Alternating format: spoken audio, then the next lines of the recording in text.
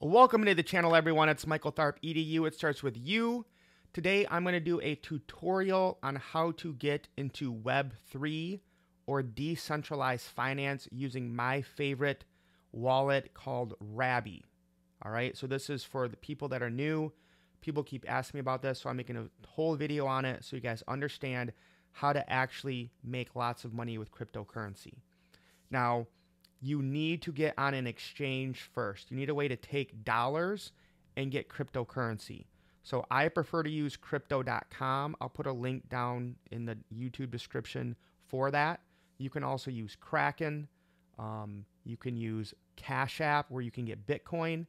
And a lot of people use Coinbase. I don't really like Coinbase, but it is a little easier for new people. Just don't ask me for help when you sign up for Coinbase because I don't use them. So you're going to go to Rabby, R A B B Y dot I O. I will also put that link in the description of the YouTube video. You just click more and then all the links that are there that you need. Okay. So I'm on a browser I don't normally use. So I will never use this address again so I can show you guys how everything looks and functions.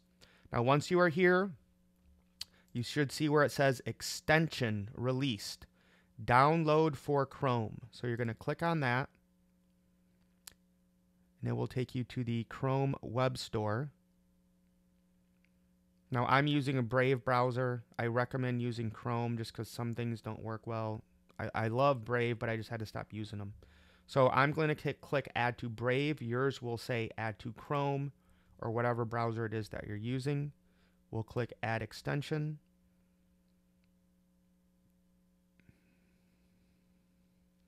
Now, a lot of people still use what's called MetaMask, which looks like this Fox thing right here. Okay, I don't like MetaMask. Um, it's very primitive uh, when compared to Rabby. So you might have heard MetaMask before. Rabby, I think, is a better alternative. So I have now downloaded it. You need to go up to a little puzzle piece in the top right of your browser and click on that puzzle piece and then come down to Rabby Wallet and pin it. So you're going to click this pin so it's purple or blue and now Rabby is here. So now I'm going to click on Rabby access all dApps. dApps are decentralized applications. So I will click next. Self-custodial private keys are stored locally with sole access to you. So they're going to give me 12, what they're called 12 seed words that are created randomly. I'm the only one that has these. Okay. Rabby doesn't have them. Chrome doesn't have them. Whatever blockchain you're on doesn't have them. You only have them and protect them with your life. Now, if you are already into crypto and you want to bring in any wallet that you have that's you know compatible with them, like they don't do Bitcoin, but they do Ethereum, uh, Avalanche, Binance Smart Chain, you would go to import seed phrase, put in your 12 words, and then whatever wallet that you have will show up in Rabby. Okay. Digital assets or cryptocurrencies are not held on devices. Okay, they're stored on the blockchain. We just use different ways to access them. So you could have one address and five different wallets that have access to that address. Now we're creating a new seed phrase here. So we're going to go to create new seed phrase. If you don't have a crypto wallet or you want a new one, you're going to first set a password. Okay. Now, anytime you get into cryptocurrency, you want to have a notebook. You're going to write everything down on a notebook you're not going to store it digitally. You're not going to take a screenshot. You're not going to print it out. You're not going to download it or email it to yourself. Only on paper with pen or pencil.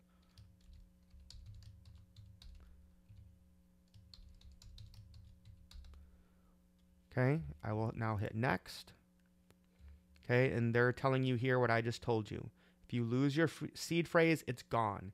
Don't give your seed phrase to anyone, especially if you're online.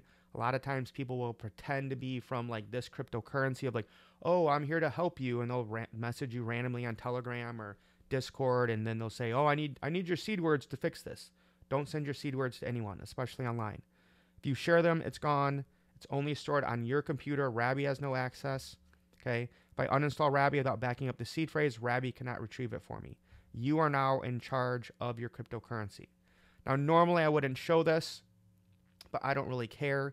I'm just going to do this for full transparency. I won't ever use this wallet. So these are my 12 seed words. I should guard them with my life. Okay. Don't just write them on some envelope and throw it on your desk. All right. Put it in a safe place, preferably a safe. Make two copies of them if you have some serious money. Okay. Put one with a trusted friend, someplace safe with them or family, and then one in a safe place with yours. So I'm going to write these seed words down because I'm going to have to validate that I know what they are. Okay, I have saved the seed phrase. Now, normally I thought it makes you validate what the seed phrase was of like put them in order. So it might do that for you. I don't know why it didn't for me. Now, don't freak out because there's all these addresses here. I'm not really sure why they're all here either. Um, but you're just going to the top one. Okay, this one right here. You're going to come here to the left and click add to Rabby so it will be purple. And you can change the name of this here. So I'll just put, you know, like test wallet.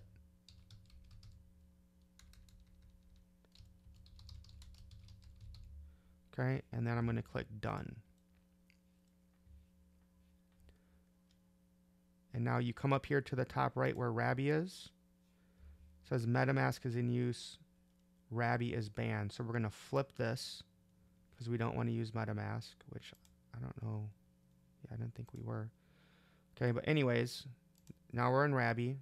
Okay, this is my address. So if I want to send cryptocurrency to this address, I'm going to click receive. And these are all the different blockchains that are on that you can use with Rabby. Normally, or at least back in the day, people used to start off with Ethereum. Ethereum's very, very expensive now. Um, probably a lot of you will use BNB. Okay, this is called BNB chain. Also, Binance Smart Chain or BEP20 20. BEP2 don't use. Don't ever use BEP2. BEP20, BNB, or Binance Smart Chain. This address here is the same address on multiple blockchains.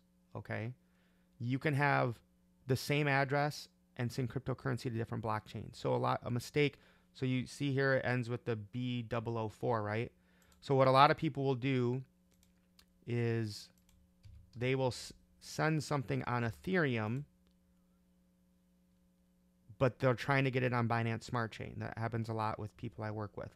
So you see how now I'm on Ethereum and it's the same address.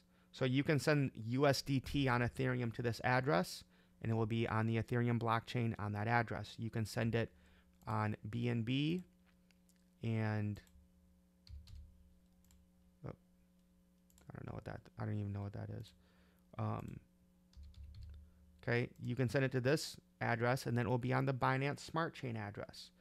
Um, you Avalanche is another um, big blockchain. Okay, you can send stuff on Avalanche here. So it's all in your possession. It's all in the same seed words. It's the same address on different blockchains. So if I was on crypto.com or Coinbase and I wanted to send Avalanche, I could use my phone and scan the QR code and it will populate that address. Or I could copy the address, paste it in, and then send my assets to this wallet. If I wanted to send you something, I would click on this. Okay, actually, I'm going to put a little crypto in here just to kind of show you guys how it works. Okay, so I've sent a little BNB into this wallet. Now, the other thing to remember is, well, let me do this first. When you have assets in here, if you click anywhere in this blue screen, it will show you what you have. Okay, so I have 0.05 BNB. It's worth $13.60. If I had multiple blockchains on here, it would show the different blockchains. So you could click on each blockchain and see what you have. Now, if I'm going to send something on the Binance Smart Chain, it will go to the Binance Smart Chain. If I'm on Ethereum and I send something from Ethereum, it will stay on Ethereum.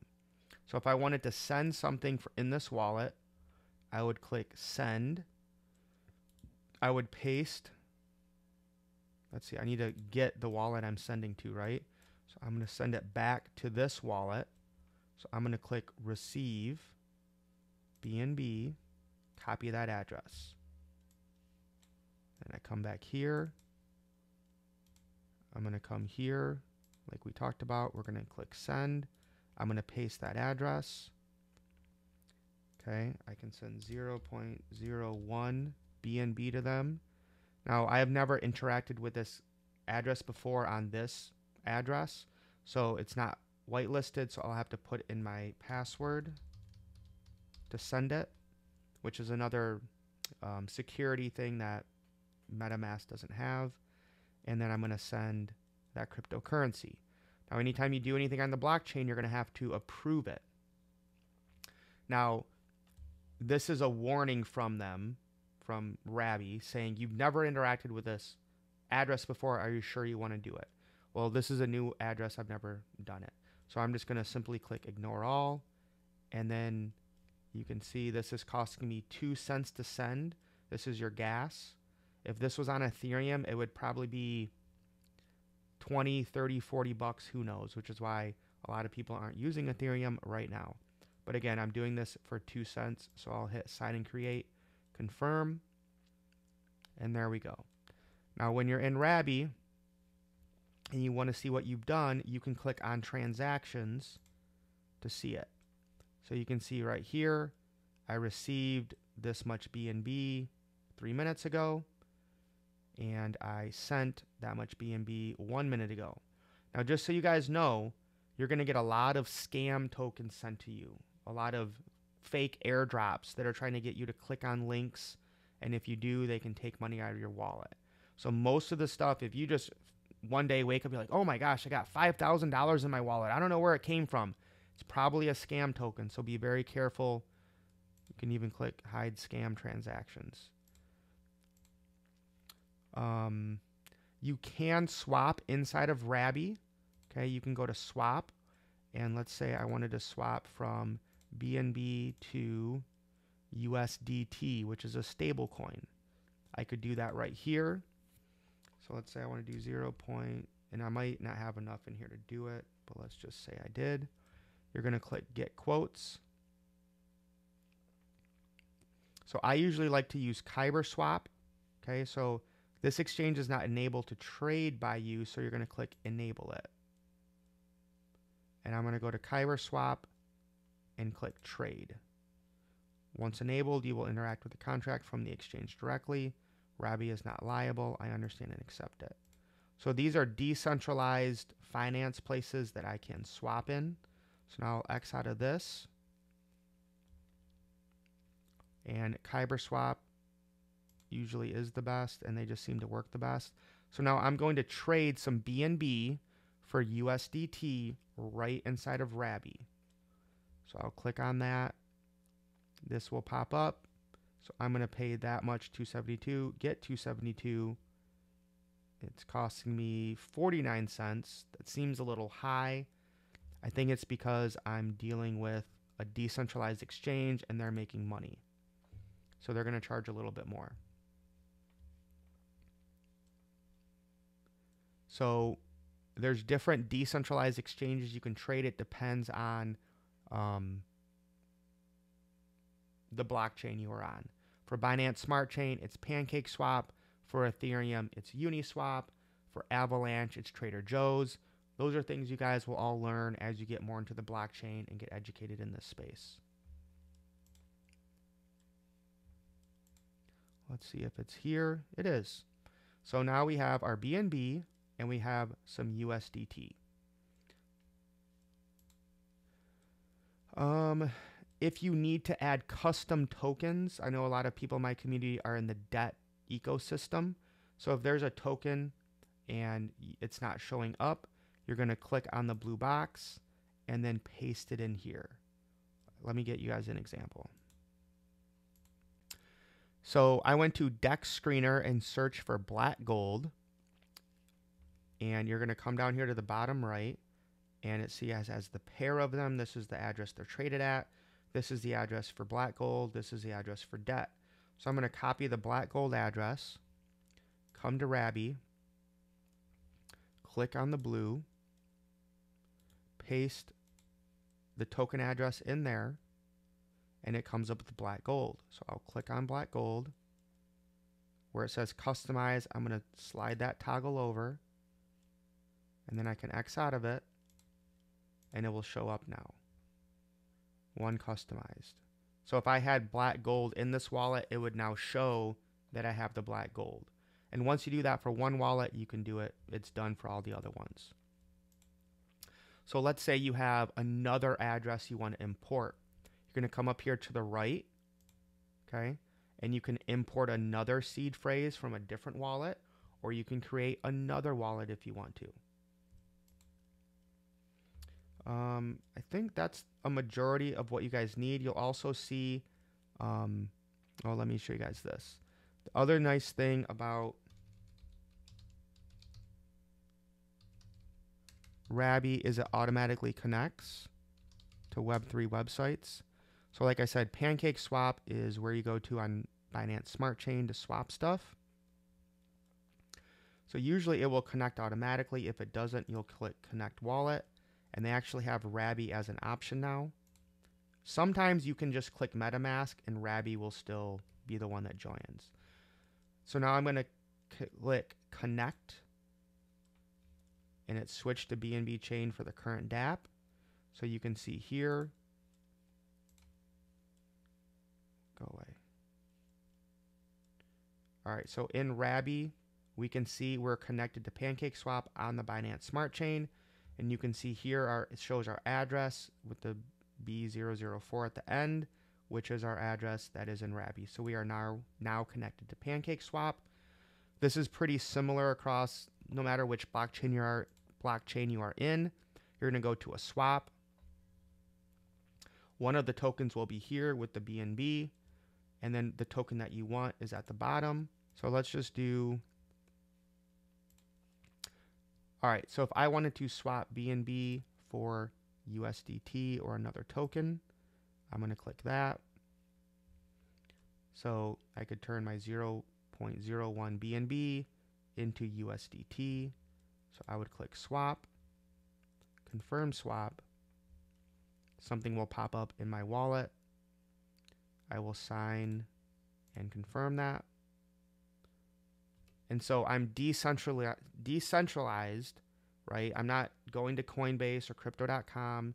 I'm swapping from one asset to another while keeping full custody of all of my cryptocurrency. So you guys can see now we have more USDT and less BNB. Pretty much anything else you would need in Rabby, you just go to more. You can lock your wallet, manage addresses, but most of that, if you're new, you're not going to use. All right, so I think that's it, guys. I hope this gave you, you know, just some insight as to how to get started with blockchain, cryptocurrency, Web3, and decentralized finance. Even if you guys don't have a lot of money, I highly urge you to get educated on how to move in this space.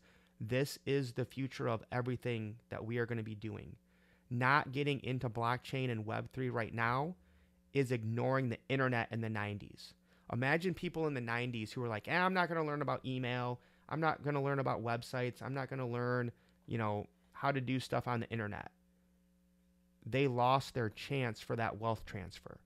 We have now been given a second chance for the greatest wealth transfer in human history.